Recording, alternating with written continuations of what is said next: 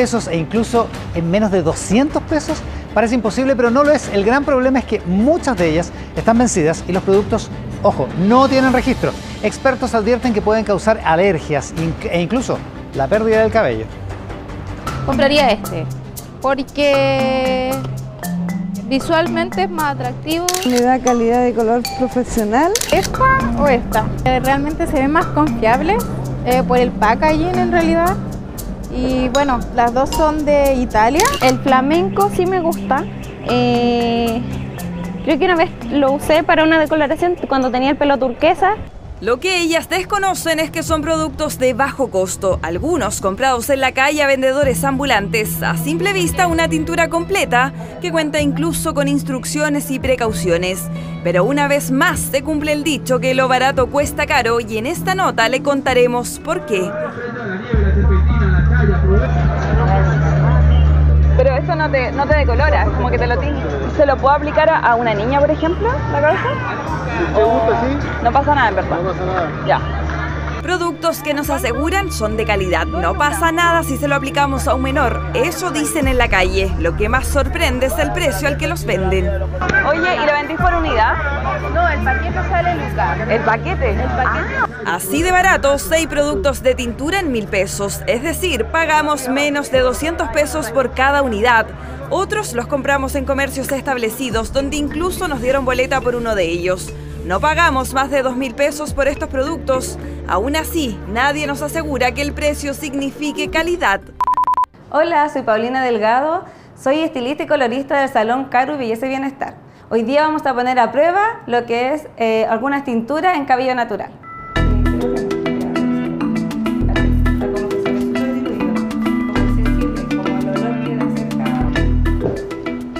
Tinturas que pusimos a prueba. Los aplicamos con las indicaciones que aparecen en el empaque de cada producto y en media hora tendríamos resultados. Pero antes de conocerlos nos dimos cuenta que los productos Lucky Lily que compramos en la calle estaban vencidos. Además, Paulina nos alertó la falta de información. Debe salir un número de mezcla. Por ejemplo, hay unas que dicen 1 más 1, 1 más 1 y medio, 1 más 2. Y eso es, eh, voy a saber cómo mezclar la, la tintura.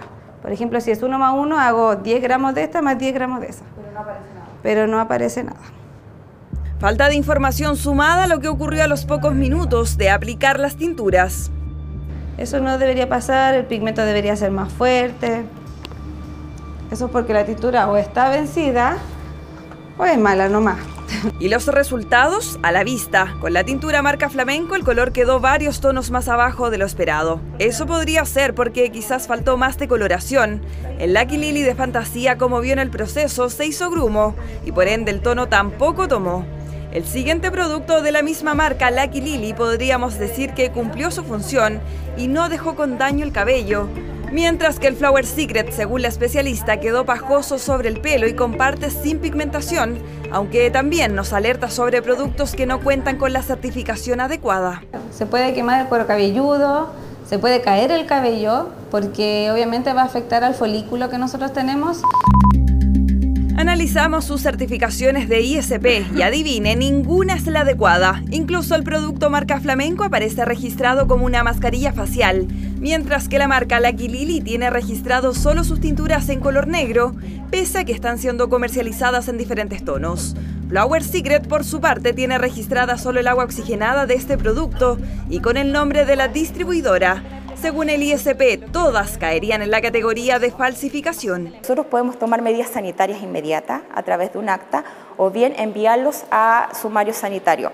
Y en el sumario sanitario vienen asociadas multas eh, que, pueden ser, que pueden ir desde 0 a 1000 UTM. Es decir, más de 64 millones de pesos y algo aún más importante para quien los compra. Si compramos un producto que no estamos eh, seguros de que esté autorizado, eh, ¿qué nos arriesgamos a que el producto no tenga ingredientes permitidos? Porque nunca fue autorizado con los ingredientes que tiene. Entonces eso puede traer eh, problemas graves o no graves a la salud. Fuimos en busca de las empresas a cargo de estas marcas. En el caso de Lucky Lily nos respondieron mediante un abogado que efectivamente cuentan con el registro en color negro, pero que están en vías del proceso del resto de los productos. No se refirieron a la venta de productos que no tienen inscripción ISP. Además, aseguraron haber sido víctimas de diversos hurtos en sus bodegas, por lo que no descartan que los productos estén siendo comercializados de forma ilegal. Con los distribuidores de las otras dos marcas ocurrió lo siguiente. Esto entra en la categoría de falsificación el no tener correctamente asociados los productos a la marca que ustedes venden, que es Flower Secret. Pero tampoco me consta un trabajo que no lo estoy poniendo en duda, pero mayormente yo me quedo con eso. Ok, ya. Eso está registrado ya. Está registrado, pero ese registro no aparece en la página. ¿No me van a dar respuesta? Es que yo no sé. Pero me acabas de decir que esto está registrado. Además, les mandamos mail e intentamos comunicarnos vía telefónica, pero no obtuvimos respuesta. Según los expertos, lo más complejo son las alergias que podrían producirse por utilizar productos falsificados y vencidos.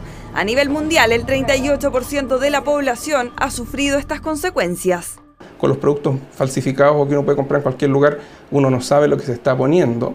Entonces muchos de estos componentes que generan alergia eh, pueden estar en concentraciones que nosotros no tenemos idea y que generen más frecuentemente reacciones adversas. Pruebas de sensibilidad sobre la piel podrían ayudar en gran medida a evitar consecuencias nocivas para la salud. Pero sobre todo el autocuidado. Muchas veces lo barato cuesta caro y en este caso quedó más que demostrado.